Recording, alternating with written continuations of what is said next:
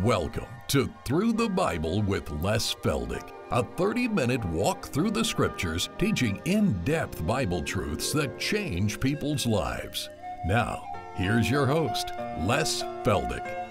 Okay, once again, good to have everybody back and uh, another cup of coffee under your belt, and we're ready for another half hour. And uh, for those of you joining us on television, again, if you're just catching us for the first time, I don't even like to repeat what some people say as they flipping through and what they see and the blackboard. And, but anyway, it stops them for a minute, and uh, that's usually long enough. And so if you're just turning in, tuning in for the first time, we always like to emphasize we're just a simple verse by verse Bible study. We started back in Genesis and uh, we've worked our way through the scriptures, and uh, we're getting closer and closer to the end. Of course, now the questions are coming, you know. Well, where are you going to go when you end back here in Jude and Revelation? Well, I'm not ready to just set it in concrete, but I'm toying with the idea that we'll go back and uh, spend some time in Isaiah or uh, some of the Old Testament prophets that uh, are real uh, minds of learning. Okay, let's uh, come back to where we were in Jude, one chapter, and we were in verse 7. And again, I ran out of time, as usual. And so we'll finish up our thought for a little bit before we go on into verse 8. But verse 7 again, I don't like to run this thing into the ground, but on the other hand, since it's something that we're up against today like no other time in our national history, we have to see what the Word of God says. Doesn't matter what I think or what any other group thinks, it's what does the Word of God say about it. All right, Jude, verse 7, even as Sodom and Gomorrah. Now, everybody I trust knows the story of Lot and Sodom. And the cities about them, in other words, the suburbs, little small villages out around them, who also were living in like manner, of course, giving themselves over to fornication, that is, into the grosser means of immorality, and going after strange flesh, are set forth as an example.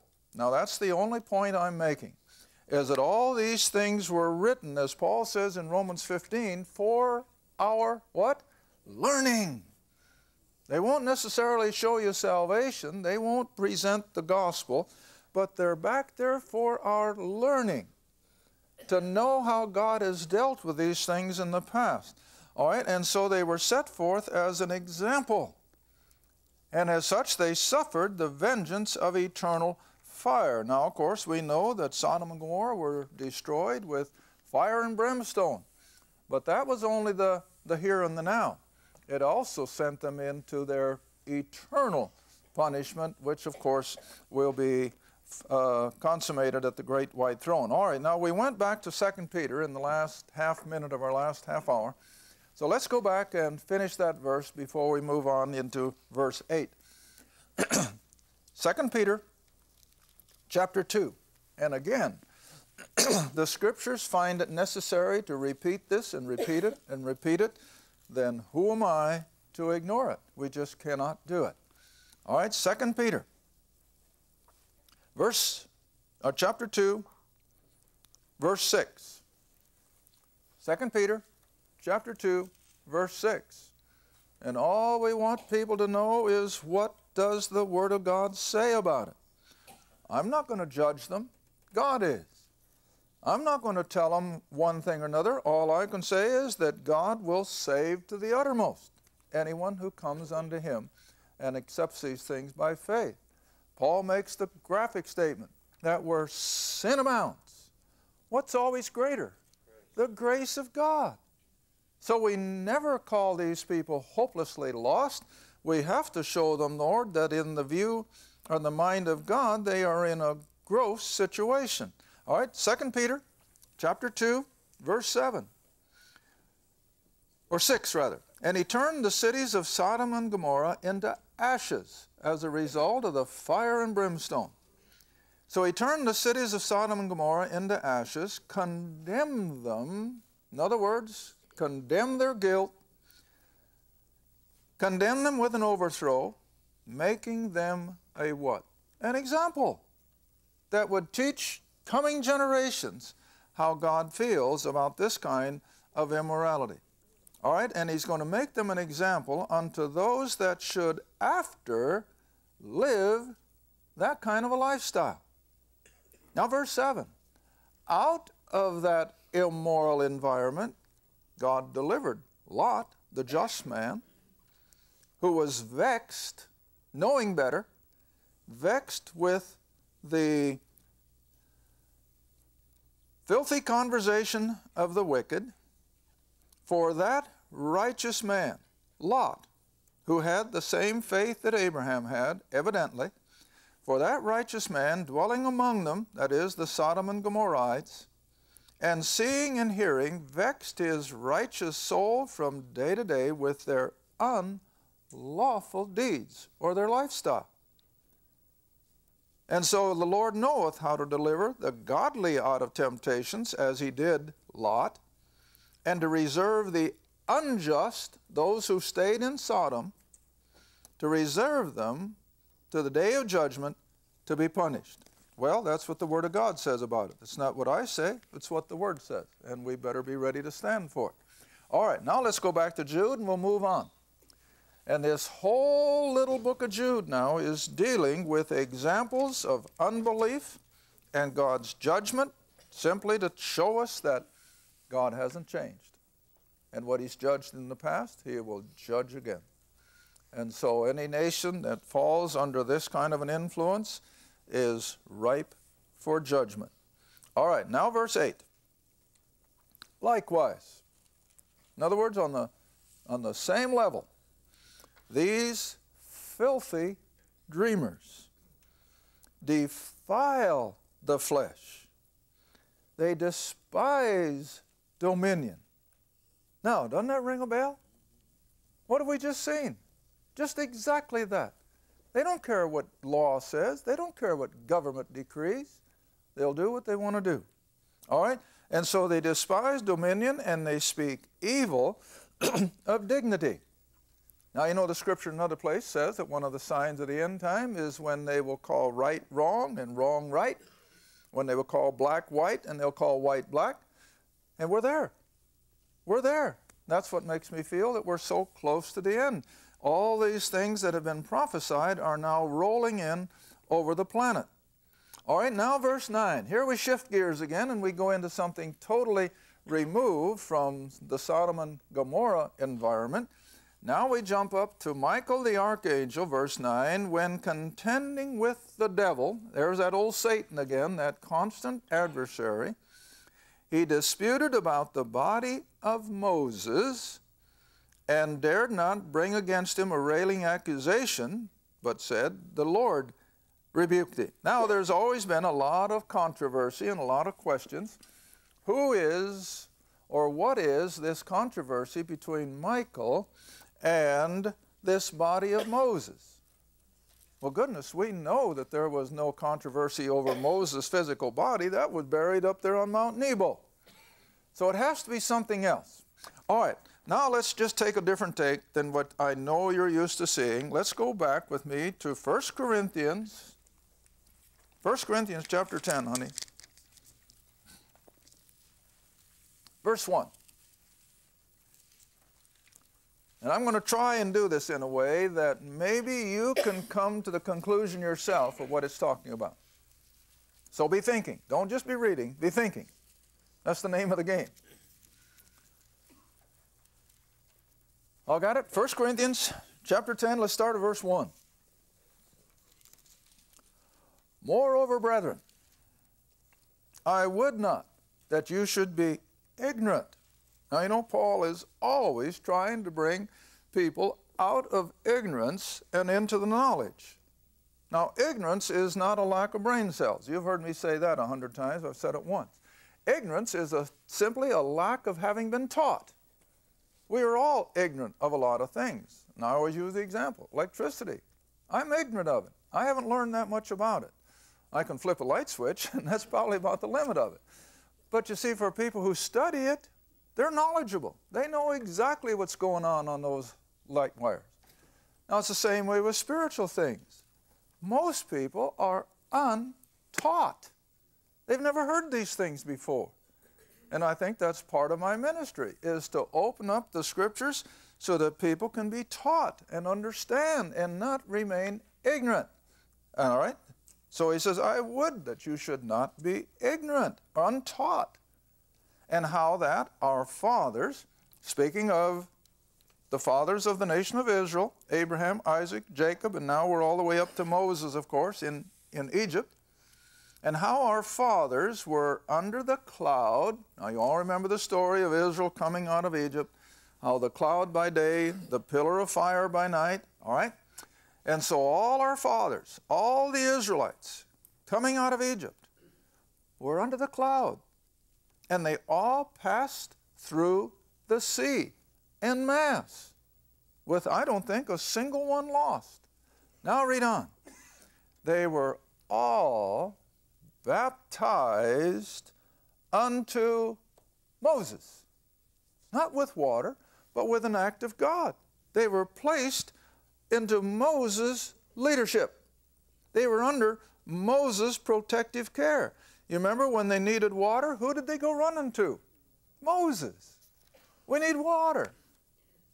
Our people are thirsty. The livestock are thirsty. Then Moses, in turn, of course, goes to God. God tells him what to do. But they were literally placed by an act of God under Moses' leadership and control. All right? And consequently, they were all in the cloud and in the sea under Moses' leadership. Verse 3 they did all eat the same spiritual food. They all drank the same spiritual drink, for they all drank of that spiritual rock which followed them, and that rock was Christ. All right, now let's compare Scripture with Scripture. Now I want you thinking who is the body of Moses that we're dealing with in the book of Jude? Now turn over to 1 Corinthians, page or two more, chapter 12. And this should help you put it together. 1 Corinthians chapter 12. Let's start at verse 12. Okay, 1 Corinthians chapter 12, verse 12. And remember now, this is the Apostle Paul, and he's talking to you and I as Gentiles in this age of grace. For as the body, the human body, is one, and it hath many members. In other words, all our extremities and all of our organs, they're all part of one body. And all are members of that one body, being many, there are still one body. So also is Christ, or the body of Christ. Now, verse 13. Now, keep your mind on what he said about Moses. For by one Holy Spirit, we as believers are all baptized into one what? Body whether we be Jew or Gentile, whether we be bond or free, we have been all made to drink in one spirit, for the body is not one member but many. All right, so what do you suppose was the body of Moses that Satan was deliberating over? The nation of Israel. Come back and read it again. Now come back to 1 Corinthians chapter 10 again. Put this all together.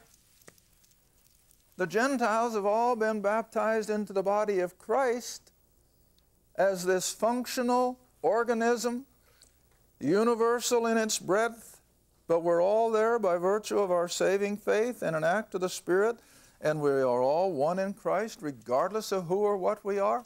All right, now jump back to the Exodus.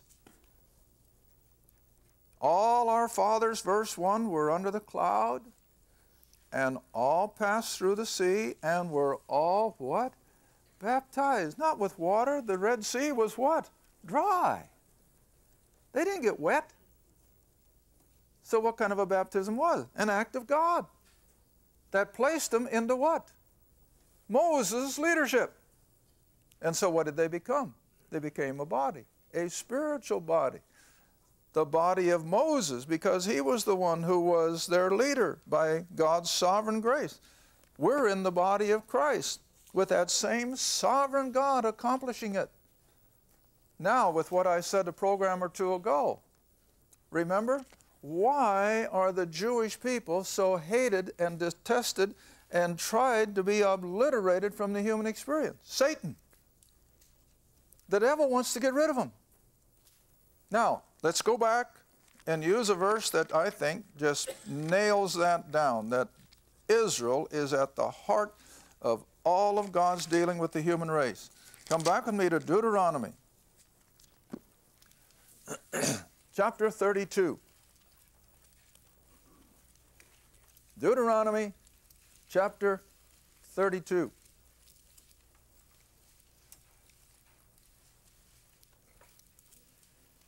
That's a long ways back, so it's going to take you a while to find it. I know. We'll take time because, you know, our listeners write the same thing. Don't go so fast, otherwise, I can't find the references. Deuteronomy chapter 32, and we're going to jump in at verse 8.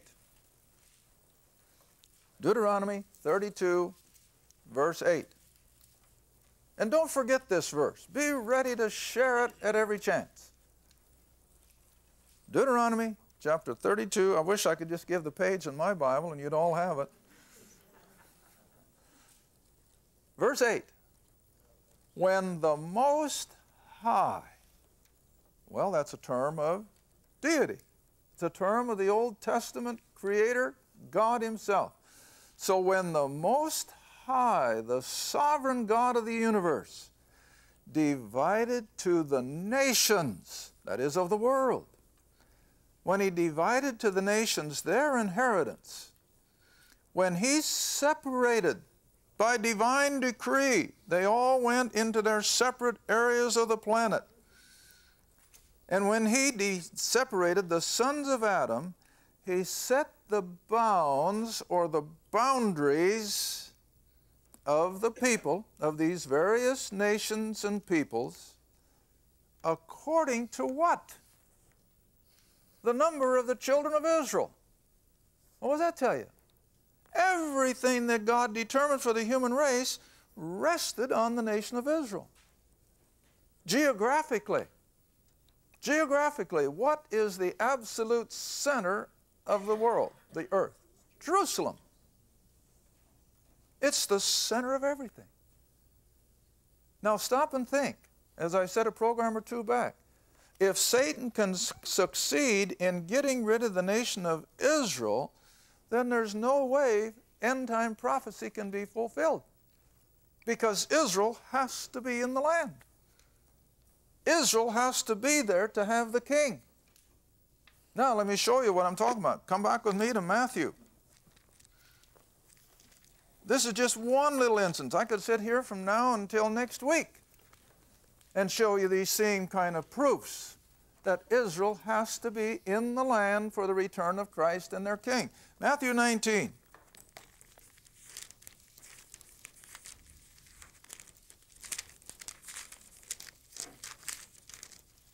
Verse 27. Matthew 19, verse 27.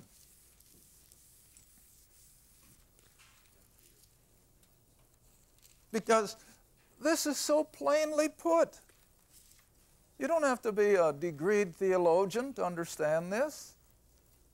You know, I made it on one of the past programs. You know what old Tyndale said way back in his day as they were burning him at the stake? He wanted every plowboy in England to have a copy of the Word. And I like that because what does that tell you? You don't have to be a rocket scientist to understand this book. If you've got the leading of the Holy Spirit, you can understand it as well as 10 PhDs. That's what it amounts to. All right, now here's as plain as day. Why does Israel have to be in the land for the return of their king? Verse 27 of Matthew 19. This is during his earthly ministry, toward the end of it. And of course, the 12 have been with him, and they've given up all of their good things of life, you might say, their occupation, their family life to follow the Lord. All right. Then answered Peter, and he said unto him, Behold, we have forsaken all and followed thee. Now, do you get what he's saying? They turned their back on the lifestyle that they had enjoyed. They lost a good portion of their family life because they were with him. And so now Peter says, Well, what are we going to get for all this? And the Lord doesn't scold him, not at all. And he says, What shall we have, therefore? And I always make the point, he's not talking about salvation, he's got that. That's evident back there in John's Gospel when Jesus was washing their feet. I think it's chapter 13. And you remember Peter didn't want Jesus to wash his feet? Kind of stuck them back under him, I imagine. And Jesus said, If I can't wash your feet, you can have no part with me. And you know, Peter had a way of sticking his foot in his mouth. What did he say next? Well, then give me a bath. And what the Lord tell him? Peter, you don't need a bath. You've been, what's the word the Lord used? You've been washed. See? You've been washed. You're saved. You're secure. But we're walking in this old filthy world, and so what do we need? Symbolically, our feet washed. Okay, so now Peter isn't talking about that. He's talking about reward. What are we going to have, therefore? Now look at the answer and see if this could ever happen if the Jews were obliterated. And Jesus said unto them, Verily I say unto you, that you who have followed me, now that'll be 11 of the 12, remember, in the regeneration, in other words, when he puts the earth back to its original Edenic state, beautiful, without the curse, it's going to be heaven on earth, all right? In the regeneration, when the Son of Man, speaking of himself, Jesus of Nazareth, the Christ, the Son of God, when he shall sit in the throne of his glory. Well, now what does throne speak of? Kingdom and king. So when the Son of Man is returned and he sets up his kingdom, and Christ is seated on the major throne in Jerusalem, I think on David's throne on Mount Zion. Now look what the rest of the verse says. You also, the twelve. Now it's not going to be Judas, it's going to be Matthias, but the twelve will sit upon twelve thrones, judging or ruling the twelve tribes of Israel. Could that be fulfilled if the Jews are obliterated? Well, of course not. That would end it all. There could be no kingdom. There'd be no reason for Christ to return. The whole thing falls apart if Israel disappears. All right, now I'm thinking of another verse. Jump all the way back again to the Old Testament.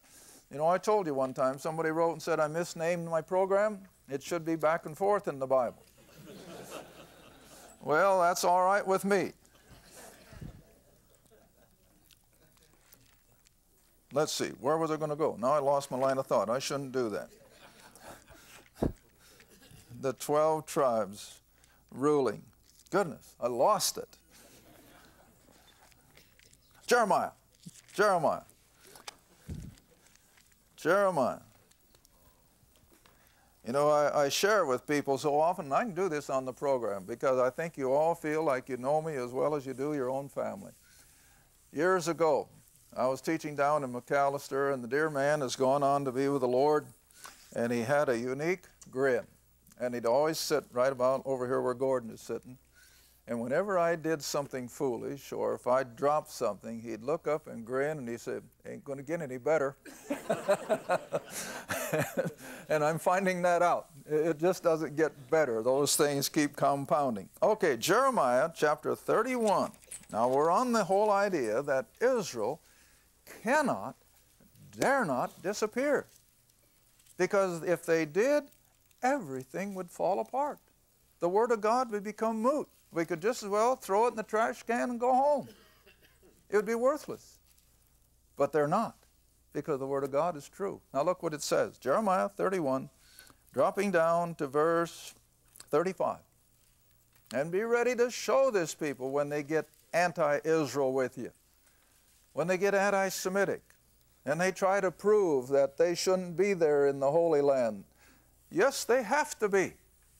They have to be, or God's word could never be fulfilled. All right, verse 35. Thus saith the Lord.